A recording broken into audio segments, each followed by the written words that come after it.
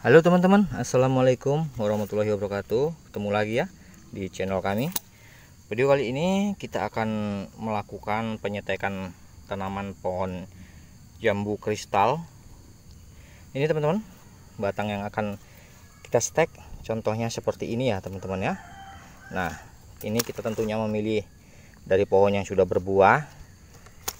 Agar hasil stek kita itu dia cepat berbuah jika dia tumbuh ya Oke. Ini seperti ini kurang lebih. Kita kurangi aja daunnya, kita potong.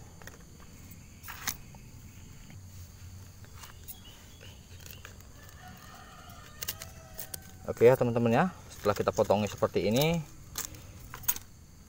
yang terutama ini harus kita sayat di bagian batang yang akan kita kasih perangsang akar ya.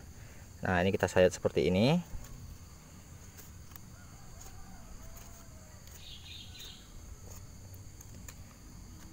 Oke, jika sudah kita sayat, tinggal kita kasih aja perangsang akarnya.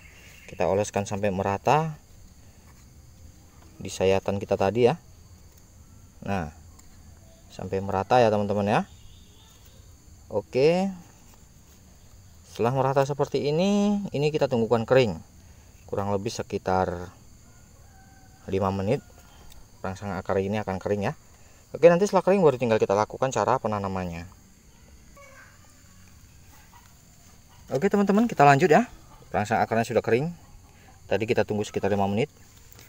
Dan ini akan kita tanam dengan menggunakan media tanam sekam padi. Ini media tanamnya sekam padi yang sudah saya bakar Saya campur dengan tanah hitam ya. Jika teman-teman ada kokopit dicampur dengan kokopit juga lebih bagus teman-teman.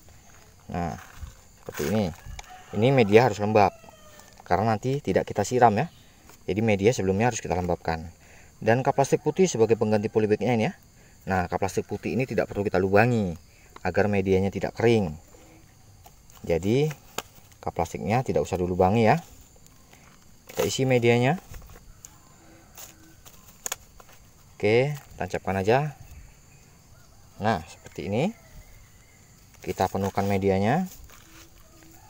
Lalu kita padatkan. Oke, teman-teman kita padatkan ya setelah padat ini akan kita sungkup.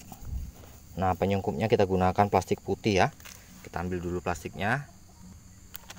Oke ini plastiknya. Kita sungkup dan kita ikat dengan karet. Sangat mudah caranya ya teman-teman ya. Nah kita ikat aja dengan karet seperti ini ini sudah selesai tinggal kita letak aja di tempat yang teduh ya. Kita tunggu selama 4 minggu. Ini contoh penyetekan 4 minggu teman-teman. Nah ini contohnya. Ini sudah tumbuh akarnya ya. Nah ini tunas-tunasnya juga sudah banyak yang tumbuh teman-teman. Dan akarnya ini sudah ada akarnya. Kita lihat. Kita bongkar medianya ya biar teman-teman lebih percaya. Nah ini dia akarnya. Sudah seperti ini. Ini penyetekan 4 minggu. Nah ini akarnya sudah tumbuh. Ini teman-teman ya. Akarnya. Oke buat teman-teman jika ingin tahu perangsang akar apa yang kami gunakan silahkan komen aja di kolom komentar. Nanti komentarnya akan kita balas ya. Nah buat teman-teman selamat mencoba. Semoga bermanfaat videonya Sampai ketemu lagi di video saya selanjutnya. Assalamualaikum warahmatullahi wabarakatuh.